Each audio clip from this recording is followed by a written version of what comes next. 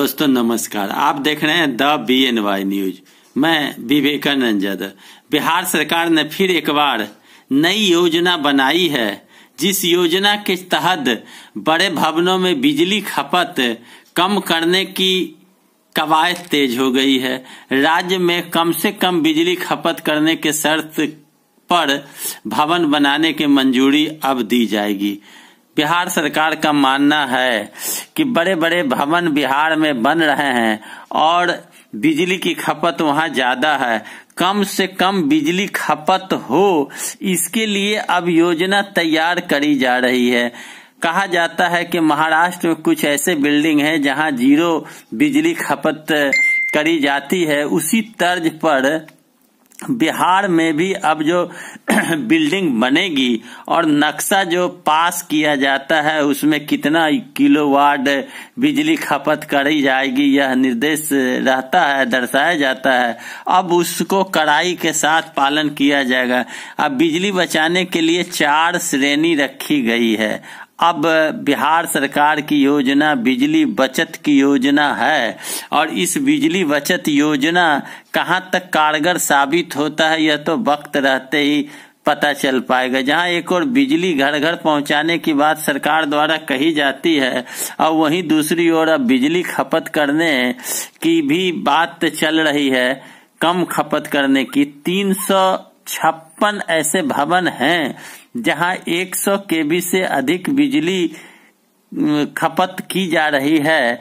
आखिर, इससे भी कम करने की कवायद तेज करी जा रही है। साथ ही साथ, बिहार सरकार ने फैसला लिया है कि राज्य के सभी प्राइमरी, मिडिल, सेकेंडरी और सीनियर सेकेंडरी स्कूलों में पॉक्सो सेल बनेंगे। स्कूलों में बच्चे के साथ मानसिक, शारीरिक यौन या भावनात्मक किसी भी तरह का शोषण किया जा रहा है तो उसके लिए वहाँ सेल, पॉक्सो सेल बनाया जाएगा। बच्चों के साथ होने वाले शोषण को रोकने के लिए यह कदम बिहार सरकार उठाने जा रही है। शिकायत निवारण के लिए भी छह सदस्यीय सेल बनेगी बनेगी, उसकी अध्यक्ष होगी और हर स्कूल में एक शिकायत पेटी रखी जाएगी। उसके मदद से शिकायत पेटी में जो शिकायत दर्ज होगा, उसके आधार पर कार्य होगा। और नोटिस बोर्ड पर child helpline number one zero nine eight भी रहेगा। तो बिहार सरकार की दो बड़ी योजना इन दिनों देखी जा रही है, जिसमें बिजली बचत करने की योजना है और बिजली की खपत कैसे कम से कम हो? और ऐसा कहा जाता है कि बिजली जो बिहार सरकार के सरकारी भवन होते हैं, उन सरकारी भवनों में बिजली की खपत अत्यधिक होती है। अब बिजली बिल देने का भी अधिभार सरकार पर अधिक होता है।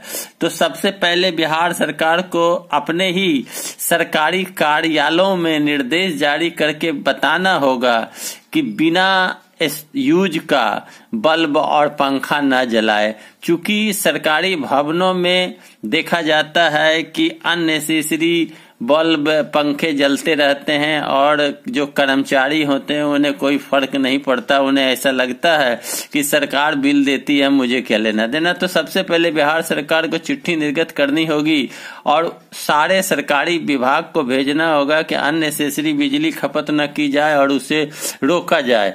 फिर बड़े बड़े भवनों में जो प्राइवेट लोगों के भवन है, उस पर बिजली कम खपत करने की जो योजना बन रही है, बने चलो अच्छी बात है, बिजली की बचत होनी चाहिए। और बिहार सरकार ने यह भी निर्देश लिया पोस्को सेल बनाने की तो यह भी सही प्रतीत होता है, लेकिन सही रूप से इसका पालन हो, सही रूप से कार्रवाई हो, सही रूप से शिकायत पेटी में डाले गए शिकायत को पढ़ा जाए और उन शिकायतों के मुताबिक कार्रवाई हो, यह भी बड़ी बात होती है। अब शिकायत पेटी से निकालने वाले शिकायत पत्र निकालते हैं और फिर उसका ब्लैकमेलिंग हो, दुरुपयोग हो तो इस पर भी ध्यान दिए जाने की आवश्यकता है।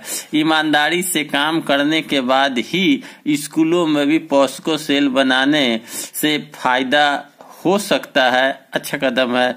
अब देखना यह है कि सरकार की यह दो बड़ी नीति है, यह कब तक अमली जामा पहनती है और कब तक यह कार्य रूप लेता है। तो दोस्तों, मेरा वीडियो अच्छा लगे तो लाइक करे, शेयर करे, कमेंट करे। मेरे चैनल को सब्सक्राइब करे, लाल बटन और घंटी दबाकर धन्यवाद।